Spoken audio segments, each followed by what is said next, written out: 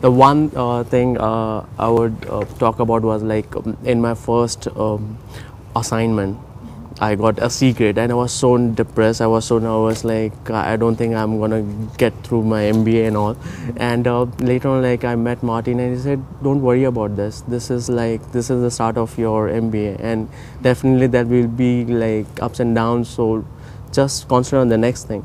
And there he told me like you know exercise like breathing exercise. He taught me breathing exercise. He told me like whatever. Uh, uh, hindrance are there, whatever your black thoughts are there, just keep it outside and just concentrate on your studies and it will help. And it, it really worked. It really worked.